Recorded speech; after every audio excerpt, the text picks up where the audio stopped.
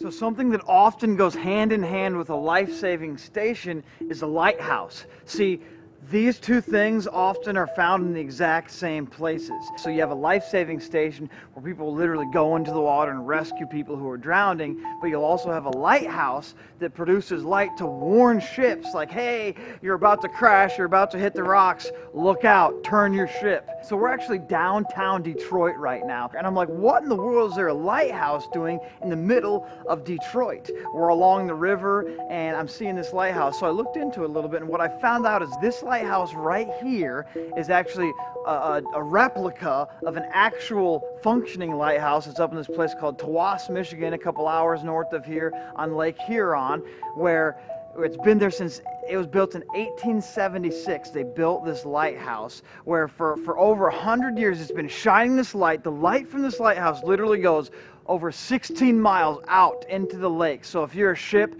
coming in, you can see it from miles and miles away because the light is so strong and so bright. Well, what they did is they made a replica of that lighthouse. They made a smaller version and they put it right here on the Riverwalk in Detroit.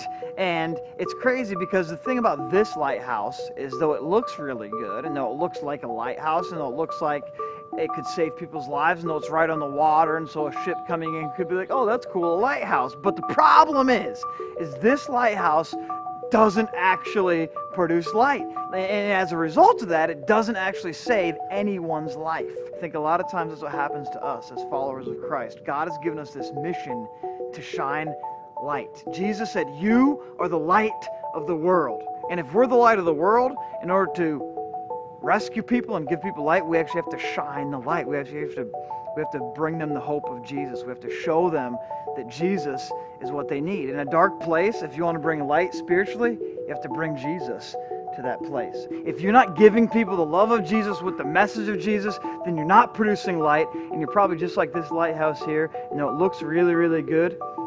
It's never going to save anyone's